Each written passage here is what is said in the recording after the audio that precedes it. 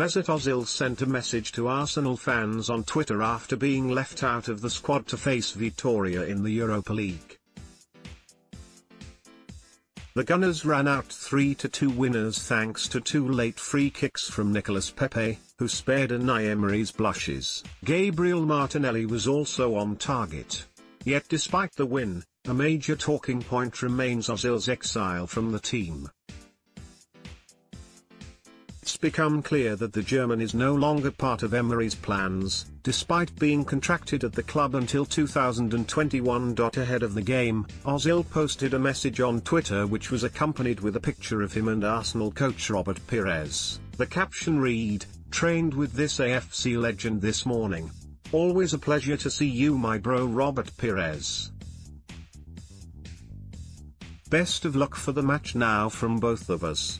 Ozil has made just one appearance in the Premier League this season in the 2-2 draw at Watford. Besides that, the 31-year-old's only other match was the Carabao Cup win over Nottingham Forest.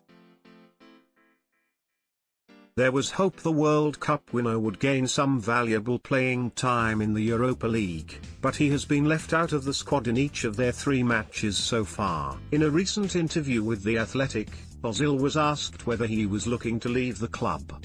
His response couldn't be clearer. No. I have a contract until the summer of 2021 and I will be staying until then, Ozil said.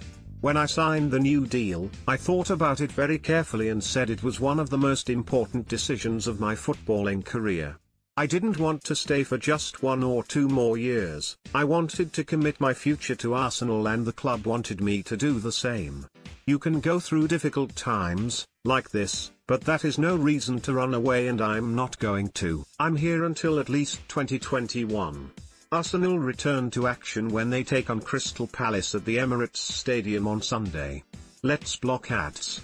Why?